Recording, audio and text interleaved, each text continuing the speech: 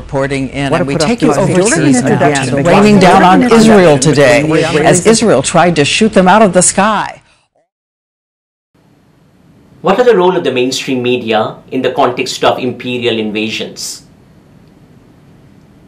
Most often, mainstream media sing the narratives of those in positions of power. As such, therefore, these media become instruments of propaganda rather than serving the functions of the fourth estate.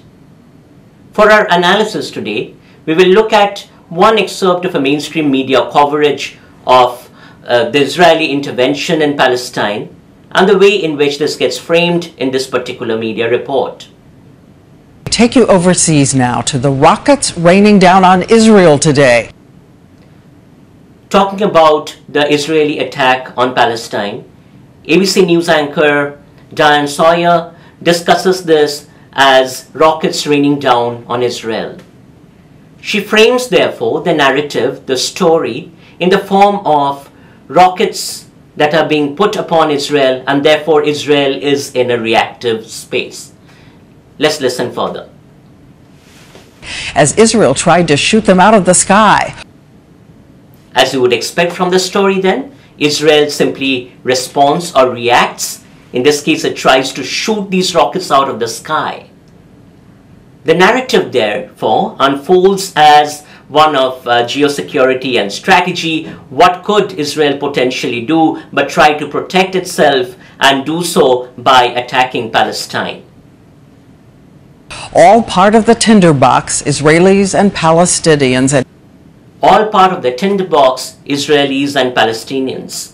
By framing this as a war and all part of a tinderbox, the narrative completely ignores a one-sided imperial invasion with one side having much more power, artillery, corporate and military support as compared to the other side. And here an Israeli family trying to salvage what they can. One woman standing speechless among the ruins. The ultimate deception of the story, however, comes in the misframing of the images that you see in this particular part of the narrative. This actually happens to be a Palestinian family that has been attacked by the weaponry that has been uh, thrown off on uh, Palestine, but this gets actually framed as an Israeli uh, family amidst the ruins.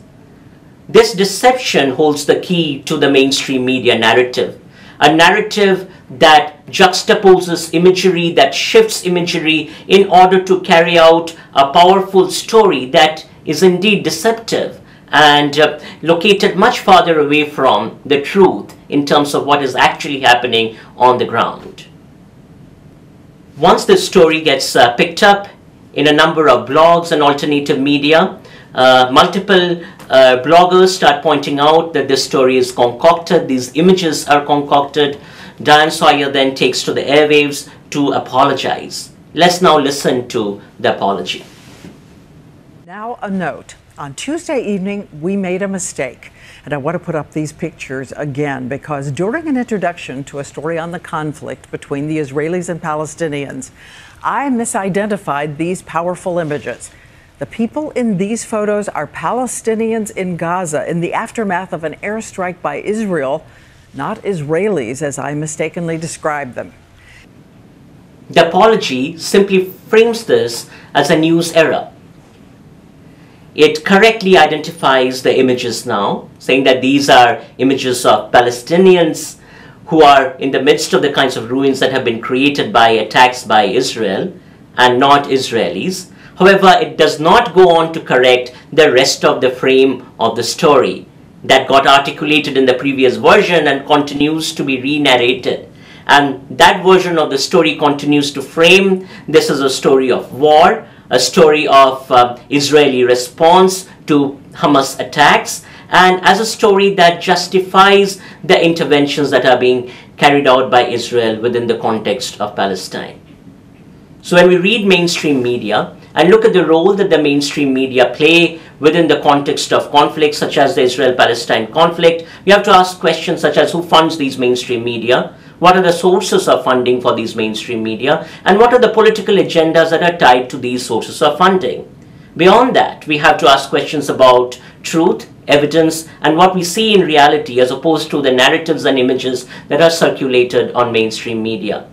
For us to critically understand the role of the media, we have to push further to look closely at the ways in which media narratives continue to replicate positions of those in power rather than interrogating these positions of power.